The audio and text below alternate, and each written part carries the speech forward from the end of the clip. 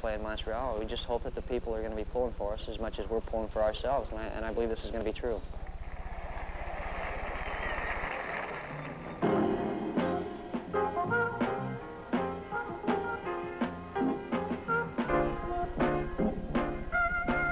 everything chips in to help a little bit. Good spirit from the fans, good spirit on the field from the ball players. Uh, winning a few games, of course, helps. Uh, of course, good uh, coaching helps.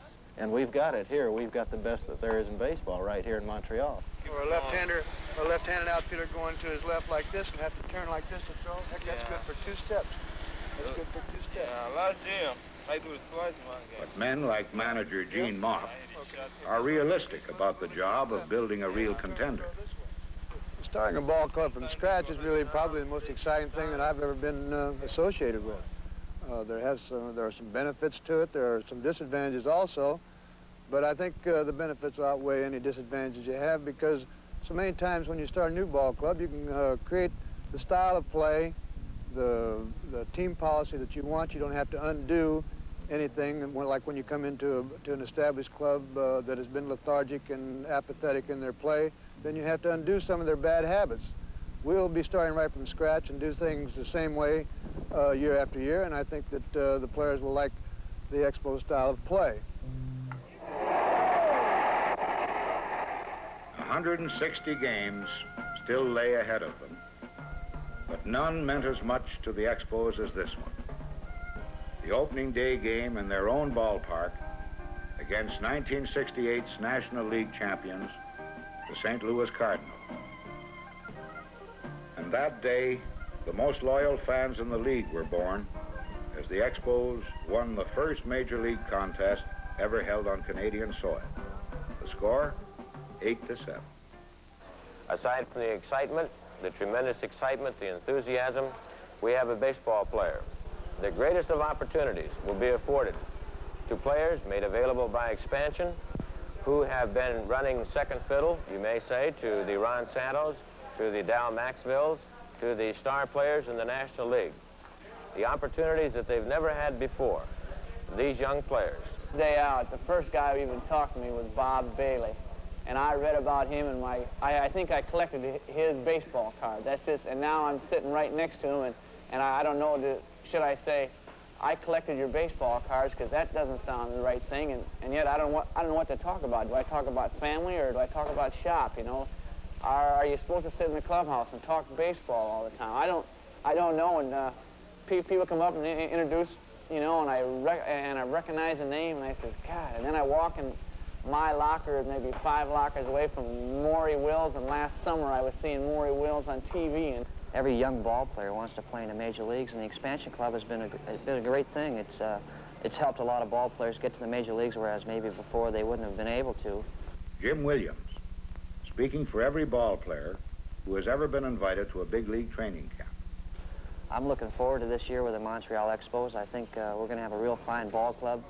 And I think when fellows like Wills and, uh, and Rusty Staub and some of the fellows that have played for a few years in the major leagues are, are out there, that it helps the younger ball players perform a little bit better than maybe they would uh, at a minor league level. Like every other branch of the entertainment business, baseball depends upon its stars to attract fans. One of the outstanding young players bagged by the Expos is Rusty Staub, Le Grand Orange. I don't care who you are in a, in a game type situation. I think there is a, a definite uh, anxiety or nervousness that you can either let work for you or against you. And, and, I- and I think one of the things that I have tried to teach my own self in my own hitting is that if you concentrate uh, so much on fundamentals that uh, you can regulate your mind to that fact, no matter what kind of situation is in any game, that you can go up to the plate and, and still see, uh, think the same things that you would normally think uh, uh, even if it was, uh, you know, you were ahead by 10 runs and a guy was on third base, you know. Staub began the season auspiciously, hitting Montreal's first home run before a stunned and silent New York crowd.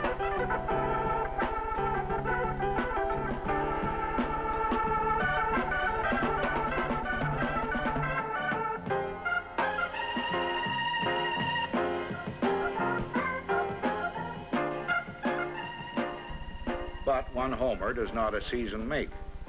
And Legrand Legrand Orange is veteran enough to understand.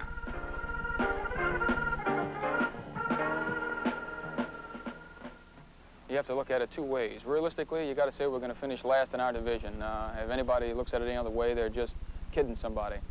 Uh, but everything doesn't always happen realistically. You can't go by paper. Uh, we're liable to surprise uh, the entire National League. One way or another, this colorful Canadian team was to be full of surprises, beginning with their 11-10 victory in their very first game. Even the people who had hoped the most could hardly believe what they had seen. I'm trying to make the team. I'm trying to make it as a starting pitcher, as a matter of fact, and uh, I just think uh, that I'm going to have a very good opportunity, much better opportunity than I would have had, uh, let's say, had I been with the Cubs this spring. And other people could hardly believe it when Montreal came up with the season's first no-hit, no-run game from Bill Stoneman, whose Expo cap and autographed ball now rest in the Baseball Hall of Fame in Cooperstown, New York. There is something, particularly with the Expo Ball Club, there's something extra special here. Uh, we have better spirit than I've ever seen on a ball club. Everybody wants to hit a thousand. Everybody wants to feel a thousand. Everybody wants to win every game. But this is impossible, and that's why I think baseball is such a great game because the the competitive spirit has to be inside of you. You have 162 games to play. It's tough to get up for every game, but you have to feel it. The competitiveness from within is very important, and uh, it has to come out in you as much as possible in order for you to have a winning season. Expansion team, yes. But grim Gene Mauch is determined that they will not be bush leaguers. Mauch has been around long enough to know that if you want to mix with the bigs, you've got to play like the bigs, even if you finish last. Baseball is so much a, a game of conditioning. Uh, it's it's uh, unique in that uh, we play 162 games a year, where the, most of the other major sports play uh, perhaps half of that or even less. Uh, the football players play 12 or 15 games a year, and they have to be conditioned uh, physically to contact both with the opposition and with the ground. We try to avoid uh, contact uh, in practice with one another and with even with the ground. We don't even do much sliding practice because the majority of players that come to the Major League camp already know about sliding, and they've been taught this as youngsters, and once you learn, it's like riding a bicycle. Once you learn how to slide, you never forget how to do it. Our ball players, uh, like all Major League ball players, just uh, repeat and repeat over and over all the things that they have to do in baseball so it becomes second nature to them.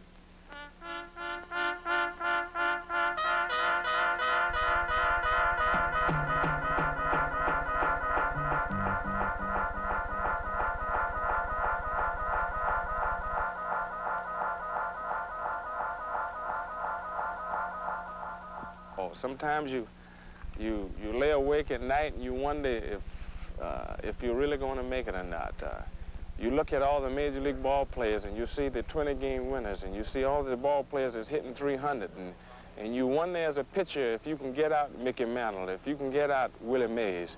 Uh, these are some of the things that goes through uh, young ball players' mind. Uh, I was scared that first day. I tell you, guys are up there that were hitting major league ball, and here I was, and I didn't know if I didn't know if I could throw as hard as I could and still get them out. You know, I I have nothing to compare myself, and, and then, then then word gets out that we're having an inter squad game, and this really this is I'm done for now, and I'm just turning me over. And I said, well, I'll, I hope I don't throw that first day so I can see what somebody else throws like, you know, and because my right now I'm trying to compare myself and see where I stand, and luckily I wasn't slated to throw on that first night, so this was on a on a Sunday, I guess. So Saturday night, I figured, well, I'll watch all day tomorrow and pick up a few pointers. And, and sure enough, uh, after the game Sunday, they said, there's another game tomorrow, and those guys who aren't throwing, throw tomorrow. And that, and that, that was me. So last night, uh, uh, I thought about my pitching, and I concentrated, and I want to remember the signs, and I got plenty of rest, and I didn't do anything that really set me up. And this morning, I woke up, and it's raining. And now I'm right back to where I started because now I got to go through the whole thing again tomorrow.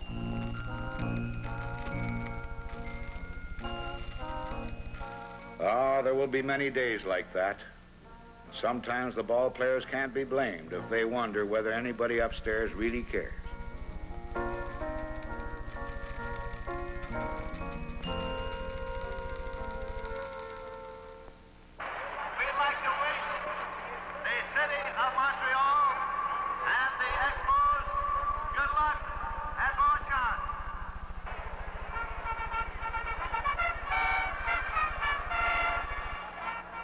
That's how it went in year one for the Montreal Expos, in this, the 100th anniversary of professional baseball.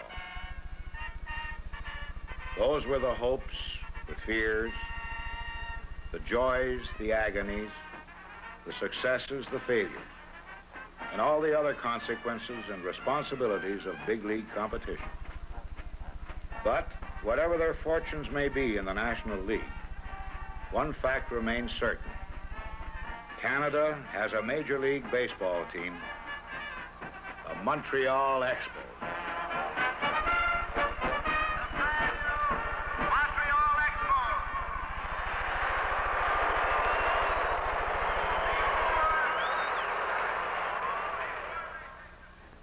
we're going to come up there and we, we, we're going to give you the best that we have.